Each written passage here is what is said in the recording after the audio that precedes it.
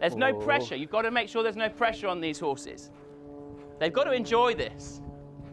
That's it. One, two, three, four, five, six, seven. Yes. He said that was Good boy. hard, Simon. It's really hard. It's really hard. And if he doesn't oh. manage it, it doesn't matter, yeah? So we Yeah. don't want to get flustered about it. That's it. Quietly back to trot.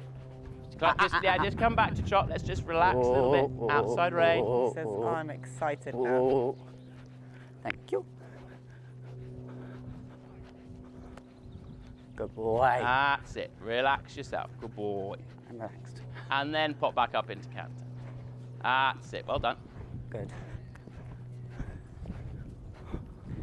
And we'll have one more go, yeah? Just keep the leg there. See if you can keep the canter this time.